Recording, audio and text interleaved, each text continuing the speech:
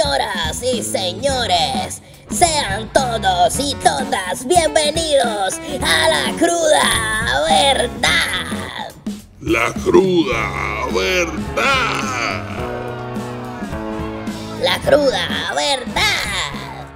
Saludos mi gente y bienvenidos a otro episodio de La Cruda Verdad. Mi nombre es Omar Vázquez, me acompaña Alex Torres. Alex, ¿cómo estamos? Papi, tranquilo, ¿y tú cómo está? ¿Todo bien? Estamos todo bien, mano. Aquí hoy, hoy tenemos un tema interesante que tocar y es que vamos a hablar si necesitamos más tolerancia en Puerto Rico porque nos estamos matando entre nosotros mismos o nos estamos acabando. ¿Por qué traemos este tema y decimos el tema rápido? Porque este episodio no es para perder tiempo, este episodio es para hablar claro las cosas que han estado aconteciendo recientemente en nuestra isla. Yo sé que a pesar de tú estar allá afuera y yo estar acá en Puerto Rico, como quiera, tú cada vez que ves las noticias, tú sientes ese dolor que siento yo también cuando ves esas cosas atroces que pasan en la isla y tú sabes que nos comunicamos y tú me preguntas, mira, en verdad esto pasó, sí, mano, y nos pasamos hablando eso en nuestro, en nuestro chat privado. Y, y, mano, de verdad que es bien triste a lo que hemos llegado como sociedad y esto no solo está pasando en Puerto Rico, está pasando a nivel mundial, a nivel global, pero nosotros pues vamos a tocar Puerto Rico porque es de la isla que los tres nacimos, a pesar de que Gerardo no está, todos nosotros los integrantes de la Trifulca, pues somos puertorriqueños criados y nacidos en el viejo San Juan, Puerto Rico, que es la capital de, de la isla. Y pues mira, recientemente en Puerto Rico han habido asesinatos a plena luz del día, asesinatos en expreso, tiroteos masivos delante de la gente, tiroteos en restaurantes, tiroteos en sitios públicos en Chinchorro, tiroteos a policías, inclusive hirieron un policía grave en, estos días que casi lo matan. Han habido tiroteos en lugares públicos, han estado disparando para probar armas al aire libre en residenciales públicos, han hecho hit and run como si fuera la orden del día, choques a cada rato y la gente se va a la fuga. La cosa en Puerto Rico está últimamente al garete. Diríamos que el nivel de tolerancia en nuestra isla está por el suelo más bajo que nunca. Y es lamentable que nosotros como sociedad estemos llegando a esto porque ya, ¿qué nos falta? ¿Qué es lo próximo? Ver secuestros, porque hace poco también hubo un secuestro eh, por Dorado de un jovencito. ¿Qué es lo próximo? Que los secuestros se vuelvan la orden del día, que empiecen a decapitar gente como en otros países, eh, eh, a desaparecer cuerpos y no aparecer. Es triste, pero pues, ¿verdad? Eh, que me gustaría saber tu pensar y viéndolo tú desde, desde la perspectiva que tú estás en los Estados Unidos y yo sé que te duele ver lo que sucede en tu isla. Mira, y, y, y, y te voy a decir una cosa, porque lo que pasa es que yo entiendo de que de que pues uno quizá de los que vivimos que, vivimos aquí en, en, en, los Estados Unidos este pues podemos conozco personas que, que pues, ya viven aquí y, prácticamente pisotean, menosprecian y, y, tildan ya de Puerto Rico como el peor sitio que, que, viven. Y antes de uno hacer eso, ¿verdad? En el caso mío, también tú tienes que evaluar cómo es donde tú vives actualmente, cómo son los alrededores y, y ciertas áreas. Me explico. Es fácil yo criticar a Puerto Rico, en cual sí yo tengo unas críticas y lo voy a hablar ahora mismo, pero yo vivo en Orlando, Florida, que hay áreas que son tan malas y pasan cosas similares hasta peores de las que pasan en Puerto Rico. Ok, dicho sé, diciendo eso, pues lo digo porque entonces tengo también luz verde para opinar de mi isla, como estoy criticando donde yo vivo también, ¿verdad? Y en otros estados. Sí, porque lo que es igual no es ventaja. Exacto, exacto. Y, y, por eso es que quise abrirle mi pensamiento con eso. Pero sí, no, no voy a ignorar el hecho de que, en Puerto Rico pues las cosas este, no son como antes y, y, son hasta peores. Y hay dos factores, y esto lo voy a dividir de esta manera. Este es el factor de que, que lamentablemente, y eso va a aplicar también en otros países, en otros lugares, tiene, todo el mundo ya tiene teléfono, todo el mundo eh, tiene la habilidad de grabar cualquier cosa que pase. Este, quizás en el pasado, cuando suceden estas cosas que tú estás describiendo, pues muchas de esas se convirtieron en leyendas urbanas y en rumores porque si las noticias no lo documentaban o no estaban ahí, nadie sabía. pues, nadie sabía o se convertía en un rumor o una leyenda. Ahora Sí, no. No como ahora, que es a minutos, sucede el tiroteo Exacto. en el expreso y la notificación te llega del Facebook diciendo tiroteo en expreso. Sí, y- y- o, o no te vayas lejos, este, se forma el tiroteo en el expreso, hay gente que está en otros carros grabando, haciendo un Facebook Live o posteando el video rápido en las redes y eso se va como, como un virus, eso se va a regar como, como una cosa, tú sabes, bien ridícula y, y algunas veces lo que tú grabes personalmente es que lo que al final las noticias entonces van a, van a reseñar, mira, esto fue sacado de alguien en el, en el expreso, mira el pietaje y entonces que las noticias eh, eh, documentan la situación. Lo otro, ¿verdad? Fuera la parte de la tecnología, es que, y esto lo digo hasta de manera simbólica, ¿verdad? Porque no hay una ley escrita, los códigos de la calle, la ética y el respeto, tú sabes. Cambió totalmente. lo que en los 70, en los 80 era común de que si había un problema entre dos personas y, y querían cometer sus fechorías, que como que era está mal, pues lo hacían entre ellos mismos sin tener que hacerlo a, a la luz del día y, y- y- y respetando de que hay personas inocentes alrededor. Y Qué bueno, qué bueno que tocas eso, Alex, porque eso que tú estás diciendo de los códigos de la calle, eso es algo que se ha perdido cuando empezaron a morir, a matar y a meter preso a todos estos bichotes, por decirlo de cierto modo, de diferentes lugares importantes en la isla. Y empezó a suceder eso mismo que tú dices. Prácticamente tan pronto los empiezan a meter presos o empezaron a morir este tipo de personas que controlaban estas áreas, se perdió el respeto porque antes te veían con tu esposa y tus hijos y no te mataban, al contrario, podían ir a donde ti y decirte, estás bien papi, tú sabes, y ya y se iban. Y después cuando te pillaran solo, tú sabías que te iban a, a matar, pero no te mataban delante de tus hijos. Ahora ellos tiran porque el carro que pasó, a ellos le dijeron que tú andabas en un Corolla y pasó un Corolla rojo y como ellos le dijeron que tú andabas en un Corolla rojo, los chamaquitos tiran al garete sin ni siquiera ver si ese Corolla rojo eh, estás tú adentro. Eh, eh, puede ser un inocente que está en un Corolla parecido. Y, a- y así están haciendo las cosas hoy en día. Sí, y, y, y por eso es que ya, y esa es la parte que específicamente en Puerto Rico es preocupante, porque de la misma manera que dije, no, aquí en los Estados Unidos pasan cosas, pero aquí lo que pasa es que las cosas que pasan son gente que están mentalmente des- Desequilibrada. desequilibrada y, y- y- hacen estas estas matanzas masivas y todas estas cosas como pasó ho- hoy, ho- ho- hoy este episodio se está grabando un ya hasta ahora un 13 de abril pues ustedes saben que el 12 de abril este hubo eh, esa persona que empezó a disparar en el subway de Nueva York para allá para Brooklyn y qué sé yo Sí. Y, y- y casi siempre cuando pasan estas cosas y el, y el denominador común es como lo que acá tú acabas de decir, mentalmente pues hay algo que, está fuera de sitio. ¿Qué pasa? Yo, lo, yo menciono esto porque al contrario de, de lo que pasa muchas veces en Estados Unidos, en Puerto Rico, no son gente con problemas mentales, son gente que son bastante cuerdas y son personas que, que lo que tienen que ver son con las guerras de la calle. Entonces, pues Claro. estás envolviendo entonces gente inocente que no tienen que ver nada como en los 70 y los 80 que eh, pues, esperaban en el momento preciso sin tener puede poner en riesgo niños, eh, padres de familia, madres trabajadoras y eso. Y pasan las cosas que pasan. Y, y eso es la parte que más me preocupa de, de, por lo menos de lo que yo estoy percibiendo en, en Puerto Rico como tal. Este, y, y- y han pasado demasiadas cosas. Se- de- llevan, por lo menos llevan ya tres semanas ocurriendo cosas. Sí, este, atroces, atroces. Sí, sí, sí. Y, no, y- no estoy y- ajeno a eso.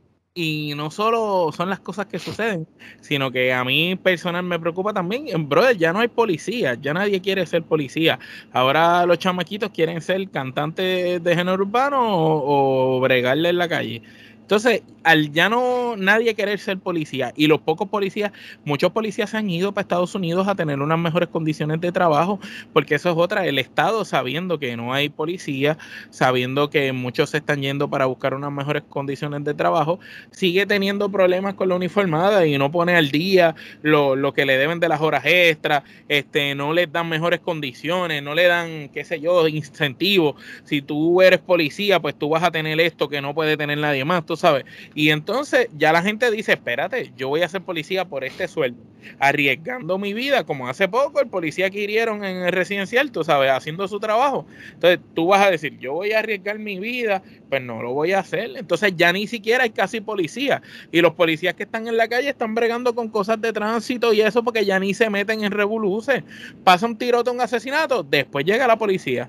No es como antes que tú, que los policías siempre están por ahí. Y, ¿verdad? Yo, yo veo esto ya llegando al nivel que yo entiendo, ¿verdad? Que van a tener que activar la Guardia Nacional y van a tener que meter este, nuevamente a un uniformado de la Guardia Nacional dentro de las patrullas de la policía, como lo hubo en un momento dado cuando las campañas de mano dura contra el crimen, que las cosas estaban también bien al garete en Puerto Rico y las cosas se alinearon porque pues tenía un militar que no está entrenado para detenerte ni para pararte, está entrenado para asesinar. Es la realidad, con una M16 montado en una patrulla. Y ahí sí, que cuando se bajaba ese militar con la patrulla, y se bajan los otros dos policías, la gente eh, aprendía a respetar. Yo estoy seguro que si hacen eso, las cosas se van, no, no es que van a mejorar del cielo a la tierra, pero se van a ir calmando poco a poco y hay que empezar a hacer algo. Porque si no hacemos algo, que estamos esperando? Que todos los policías se nos vayan para el carajo. Y que la Guardia Nacional coja ahí, se empiecen a hacer leyes marciales y cosas Eso es lo que va a pasar. La policía se va para el carajo, el Estado tiene que activar la Guardia Nacional y la Guardia Nacional empieza a, darle a entrar en la y esa gente no come en cuentos. Ellos y, hacen ellos van, y ellos van a entrar a cantazo para proteger el país. Entonces, ¿qué es lo que estamos esperando? Que suceda eso. Mira, el gobierno que tome acción, que metan un uniformado de la Guardia Nacional en las patrullas, que empiecen a, darle incentivo a los policías para que los jóvenes quieran ser policías, que les enseñen que si son policías tienen ciertos beneficios. Como lo hay en otros países, pero la gente dice, ¿para qué yo voy a ser policía? Para eso mejor canto reggaetón o soy youtuber, que es las carreras que los jóvenes quieren hoy en día. Sí, y, y, y, y, la, y las generaciones futuras este, van a ver ciertos oficios que, que, no lo van a hacer por vagancia y por lo mismo que estás diciendo, quieren ser youtuber, quieren ser rapero, quieren hacerlo todo fácil detrás de una pantalla. Este, y eso es un problema que, va, va, a ser grande no tan solo en Puerto Rico, porque estamos hablando específicamente del tema de, de, las cosas que están sucediendo en Puerto Rico, pero esto va a ser un problema en, en un montón de lugares. Este, y aquí, ha pasado no solo con los policías, sino con los médicos. Los profesionales que nosotros teníamos en nuestra isla se están yendo. Tú mismo, tú eres un ingeniero que te fuiste, emigraste a los Estados Unidos para mejores condiciones de trabajo. Y asimismo tenemos muchos doctores que se fueron para Estados Unidos y se van para otros lugares buscando mejores condiciones de trabajo. Y los mismos policías también, porque ya aquí hay muchos policías que se van para otros estados y allá se vuelven policías de, ese estado y terminan ganando eh, casi el doble y a veces hasta tres veces el sueldo que ellos ganaban acá, haciendo lo mismo y en mejores condiciones, en una mejor patrulla, un mejor uniforme, mejor equipo. Muchachos, y, cuando van esas, hacen esas ferias de empleo de buscando maestros, policías, se van para Texas y le empiezan pagando sesenta y pico de mil comenzando, ¿quién no se va? Ah, te pagamos relocalización, te garantizamos una escuela segura. Un año de, vivienda. Sí, sí, pues claro, cualquiera lo pensaría, de verdad. Este, pero, pero yo entiendo de que, de que eh, Puerto Rico...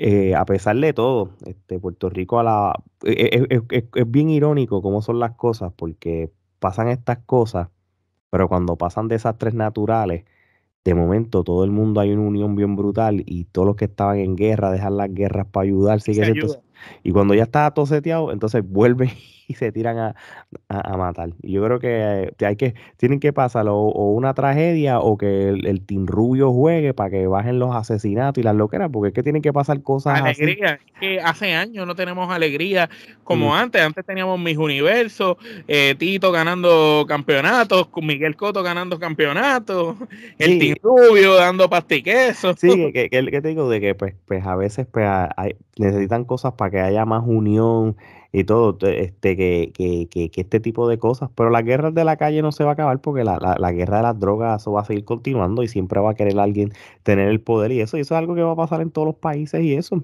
Lo, lo único que... El punto es mantener un poco el control a como estaba antes. Exacto, y, y, y, y lo único que me resta decir es repetir lo que dijo ahorita. Mira, prácticamente, este que si había antes una ética o un código hacer la fechoría en cual no estoy este diciendo que hagan eso. Sí, no, no estás avalándolo, pero, pero yo entiendo lo que tú dices, es que estás diciendo que esos códigos y esa ética de la calle que se ha perdido debería devolver. Porque no, nosotros no queremos que sigan eh, muriendo gente inocente y, y, y, y no y, no las cosas a la luz del día tampoco, tú sabes. El que se la buscó, que se la busque, pero como, como dice Alex, que hagan las cosas como las hacían antes, no a plena luz del día, no delante de las familias, no tirando tiros a lo loco sin saber a quién vas a lastimar. Si tú tienes un problema con esa persona, ve a dónde esa persona. Exactamente. Y es prácticamente lo único que tengo que decir ya sobre esto, brother. ¿Y qué, qué, tú crees de lo que dije de la Guardia Nacional? ¿Crees que ya es tiempo de que activen la Guardia Nacional y allá, aunque sea uno con los policías como era antes, para que los policías, los pocos policías que quedan, tengan el respeto sí, que han perdido? Sí. el problema, Ale, es que en la calle, el, el, tiroteo que hubo hace poco al lado de mi trabajo, allí en el centro de Minilla, es, este, eso se bajaron unos mozalbetes con, con metralletas a tirar. Y yo vi los videos, yo vi los videos. No, estamos hablando que son pistolas. los policías andan con una pistola y entonces estos tipos se bajan con metralletas. ¿Me entiendes? Que cuando vienes a ver, ya ellos están mejores armados. Tú necesitas armar mejor la uniformada y, y, los militares. Yo creo que tanto el gobierno como, como, el, como la policía de Puerto Rico tienen que hacer un análisis de cuántos policías quedan activos en la isla eh, también este, tienen que analizar, ¿verdad? Si este, los guardias municipales, ¿verdad? Este, también tienen que hacer un, conteo, ¿verdad? Porque no todos los municipios tienen guardias municipales. Sí, y, y, y, hay veces que los guardias municipales este, en algunos municipios son bien poquitos. Por eso. la diferencia es que los guardias municipales, al ser empleados municipales, e inclusive los de San Juan, por ejemplo, cobran más dinero algunos que guardias estatales. Empezando. Entonces, a veces hay guardias municipales que cobran más que el estatal, pero no hacen ni tienen la responsabilidad. No, no, claro, no, claro. Y, y, y, qué pasa? Lo que yo vengo con esto es que tiene que haber un tipo de análisis eh, eh, y, y un cierto punto, un censo de todos los policías, tanto los municipales como los estatales, dependiendo del municipio y todo, un conteo y ver si realmente comparado con, con la década pasada, es lo suficiente para cubrir las bases de, de, ciertos turnos, ciertas situaciones y eso. Y dependiendo de eso, pues tú empiezas dualmente activando la Guardia Nacional en conjunto con ellos sin necesariamente que la Guardia Nacional tome el control de la seguridad de Puerto Rico. que sea como en mano dura contra el crimen, un complemento del policía. y, y, si, y si tú ves que ahora mismo se está pasando, realmente no tengo las estadísticas de cuántos asesinatos hay, lo que va del año, no sé si en los últimos años ha aumentado, se ha mantenido igual, si ha bajado, honestamente no sé eso. Yo sé que hubo unos años que todos los años aumentaba, después empezó a bajar y qué sé yo, este, pero realmente no sé cuáles son las estadísticas y eso también tienes que eh, ponerlo en, en, esos en ese estudio que yo estoy por lo menos aconsejando y, de, lo que estamos hablando, sugiriendo para entonces pues saber hasta qué magnitud tú vas a tener una alianza y, activar este hasta cierto porcentaje pues la Guardia Nacional. todo esto se tiene que estudiar, pero tú sabes de que lamentablemente en Puerto Rico no van a hacer eso. pero es lo que yo entiendo que deben hacer. Eh, yo, yo también opino igual que tú. Eh, deberían de activar la Guardia Nacional eh, ayudando en cierto modo a los policías y deberían de dar ciertos incentivos a los policías, a los jóvenes para que entren a las academias y quieran ser policías, porque ya no hay gente que quiera ser policía, igual que, que subieron el sueldo de los maestros y hay propuestas para subir el sueldo de algunas personas, tienen que buscar la manera de conseguir dinero para subirle este dinero y, y mejorar las condiciones de trabajo de los policías y de otros especialistas.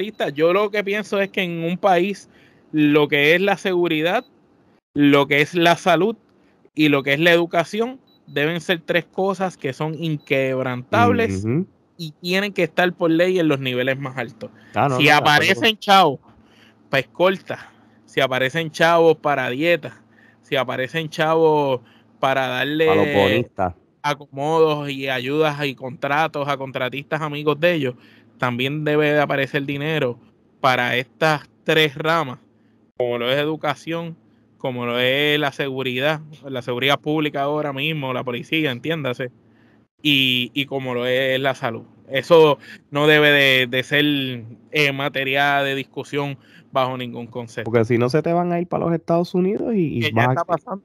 Cada vez hay menos. Exacto, y entonces pues no va a haber suficiente personal para sustentar esas tres eh, esos tres oficios importantes que Omar ahora mismo está estableciendo. Así mismo es. Bueno, gente, con esto damos por culminado este episodio de La Cruda Verdad. Alex, gracias por acompañarme a hablar un poquito, ¿verdad?, de, estos temas sociales que sabemos que nos sacan de nuestra línea de confort, de la lucha libre, los deportes y, y las series, pero son temas que a veces hay que tocarlo y que nosotros, ¿verdad?, como como individuos tenemos a veces que diversificarnos y tocarle estos temas. Alex, ¿dónde pueden conseguirnos a nosotros en la Trifulca? Trifulca Media. Eh, no es difícil de buscar. Trifulca Media, Twitter, Instagram, Facebook y TikTok. Este canal de YouTube también, Trifulca Media. Este, también suscríbanse si no están suscritos todavía, denle a la campanita para que se enteren de los episodios nuevos y este, donde nosotros nos consumen más las plataformas de audio de podcast. Eh, estamos en todas las plataformas, por ejemplo, Apple, Spotify, iHeartRadio, Amazon, Google Podcast, entre otros. Y, cada plataforma funciona diferente, o le das follow, o le das listen, o le das like, y, y le das subscribe también. Y, y, rápido les informa cuando hay un episodio nuevo también. Así que, y también tenemos nuestra mercancía de Trifulca Media, este como el hoodie amarillo, el hoodie negro, la gorra de Omar, la gorra que tengo yo y entre otros artículos. El link para accesar la página está en las redes sociales y nuestro canal de YouTube. Así que ya lo saben, mi gente. Este, yo creo que cuando es importante, este, ahora no voy a estar roncando como yo hago de esas cosas, este, yo para la despedida, pero yo creo que hay que tener conciencia este, de, todas estas cosas y no ignorar de que, de, que, hay, que las cosas no son como antes y siempre hay que estar pendiente a nuestros alrededores. Y, yo creo que la crianza de nuestros hijos para el futuro es bien importante y, está en nuestras manos eso. Sí, yo he visto, estaba escuchando una entrevista que le hicieron a Isa Vázquez de Guapa, de lo importante que todavía es que a los hijos los sienten a ver un poco las noticias y las cosas para que vean lo que está pasando en el mundo alrededor. alrededor, así tú, tú sabes que tan importante es educarse y, y, tratar de tener un, mejor futuro para ti este, como persona. Así que ya lo saben mi gente, sabe que Puerto Rico, aunque yo vivo en los Estados Unidos, yo amo a mi isla, así que siempre los tengo en los pensamientos. Así que ya lo saben mi gente, este, esto es todo por hoy, así que de parte de Omar y Alex, esto es hasta la próxima.